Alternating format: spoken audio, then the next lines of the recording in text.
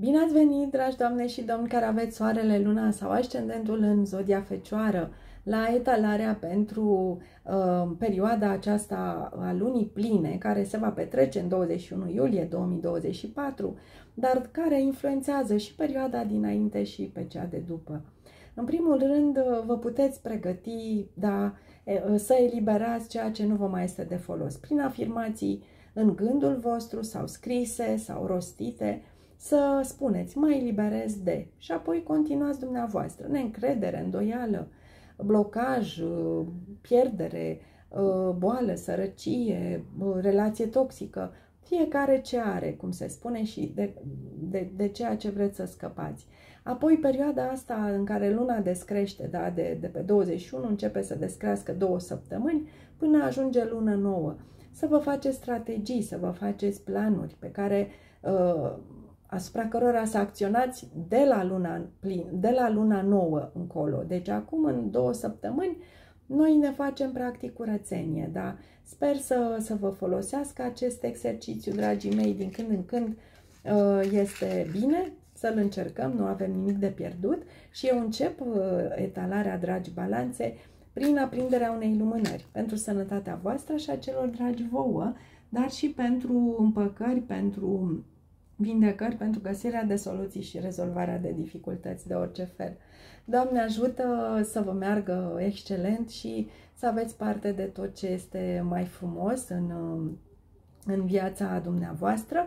Uh, voi folosi așa, voi folosi uh, cărțile Oracol, fazele lunare, bineînțeles, pentru că e luna plină, am Tarot Energy și de asemenea, din, uh, această, din acest pachet foarte frumos, se numește Tarot Illuminated, da? Um, am primele mele cărți de tarot pe care mare, mare drag le deschid pentru dumneavoastră. Haideți să vedem. Folosiți uh, detoxifierea gândurilor prin alimente, prin ceaiuri. Uh, um, puteți să începeți cu redeslăbire din 21 încolo, da? 21 iulie 2024. Primul mesaj este timpul să te eliberezi de negativitate și aici uh, menționat o persoană în semnul scorpionului, pe care o cunoașteți sau o veți cunoaște, ori ne referim la o grijă pe care o aveți pentru octombrie-noiembrie anul, anul uh, acesta în curs, iertați-mă, sau poate chiar e o situație, o relație care a început în octombrie-noiembrie anul trecut. Este o negativitate pe care puteți să o eliberați prin acele afirmații, așa cum spuneam. Următorul uh, uh, mesaj privește imaginea de ansamblu și am o lună plină și un săgetător cu care interacționați. Imaginea de ansamblu înseamnă să vedeți pădurea de copaci, să vă detașați, să vă distanțați de ceva ce v-a consumat ca să puteți să, să înțelegeți și punctul de vedere al celorlalți. Hai să vedem și al treilea mesaj pe care uh, doresc cărțile să vi-l menționeze, să ieșiți din zona de confort. Deci, practic, veți elibera și o oarecare comoditate. Posibil ca toate începuturile care se vor manifesta pentru voi da, să aibă nevoie de acest uh, mesaj, de a face curățenie, de a lăsa loc noului, uh, renunțând la vechi. Da, va trebui să închideți niște capitole și folosiți această perioadă de lună plină, dragi uh, balanțe. Hai să vedem care sunt mesajele. În primul rând, văd o călătorie în doi sau o evoluție în doi, ar spune cărțile. Văd uh, eliberarea de Uh, invidia cuiva sau eliberarea invidiei uh, din partea dumneavoastră prin încetarea de a vă mai compara. Aici am numărul 20, care poate fi o vârstă sau o oră. Am o calea templului, posibil ca unii dintre voi să mergeți și la biserică, să aprindeți lumânări, să mergeți să vorbiți cu un duhovnic, să vă spovediți, să vă împărtășiți, da? Și lucrurile acestea o să vă fie de folos. Mai văd aici un bărbat care ține o monedă, poate fi domnul din balanță sau un partener sau consultant pentru doamna balanță. 43 sau 34 pot fi vârstele acestuia, 12, 7 la fel pot reprezenta ore importante. Iată cum plecați, vă eliberați, da? Poate că o parte dintre voi închideți anumite capitole, nu doriți să le mai dați anumite șanse. Aici am numărul 27, poate fi 27 iulie, da, poate fi 27 ca vârstă sau 72. 9 sau 14 sunt importante. Acest înger al puterii o să vă stea, o să stea lângă voi, o să vă țină pavăză emoțională. Poate fi o persoană în zodia leu sau poate să fie chiar puterea voastră interioară. Aici am numărul 50, care poate reprezenta vârsta dumneavoastră sau a cuiva drag. Și o victorie, dragii mei, ce frumos! Am 28, iată, voi aveți o victorie pe 20 uh, nu, veți pleca pe 27 și pe 28 veți avea victoria asta. Poate fi un drum către un concurs, poate fi alegerea să mergeți undeva sau să închideți, v-am zis, o colaborare și să o deschideți în altă parte sau, da, 28 poate fi și o vârstă.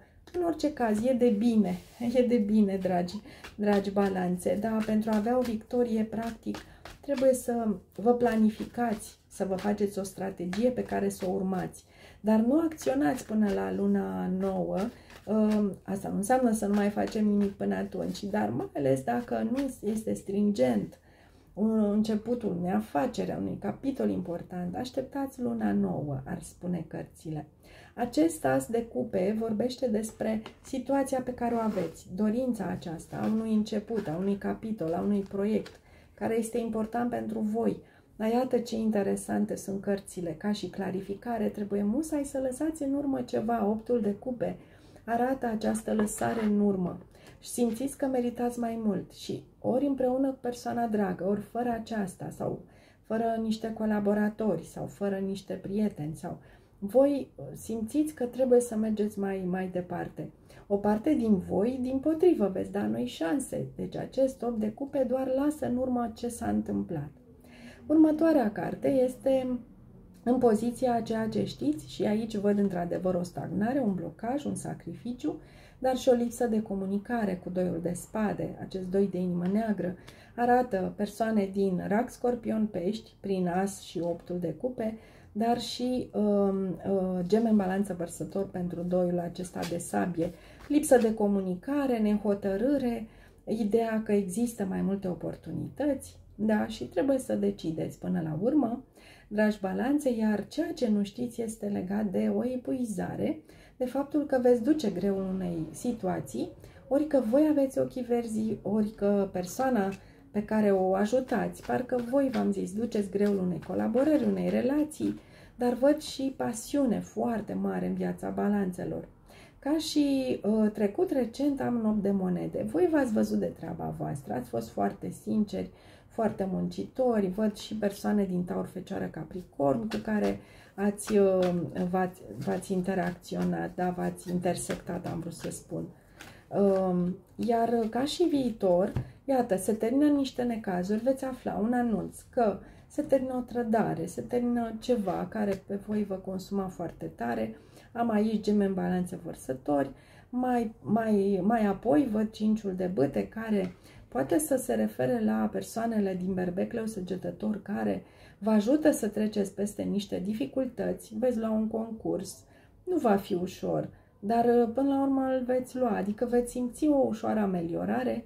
Totul e să nu fiți conflictuali, fiți asertivi, fiți diplomați, mergeți pe această situație și, de asemenea, planificați-vă, dar acționați, v-am spus, când este o energie de lună nouă. Acum avem lună plină, probabil plângeți aceste flori care n-au reușit să înflorească, fie din prea multă emoție, fie din prea puțină uh, emoție, iar uh, totuși vine de la divinitate, să știți, o ofertă. Deci veți reuși o, în momentul în care spuneți gata, mai rău decât mi-a fost, nu accept să mai fie, să știți că vor veni și anumite binecuvântări în viața voastră. Eu sper, dragii mei, că ați resonat cu tot ce a fost spus bun și, de asemenea, dacă doriți setale personale, vă aștept cu drag pe WhatsApp. Să aveți grijă de voi, vă pup și vă îmbrățișez cu mare drag. Toate cele bune! Pa, pa!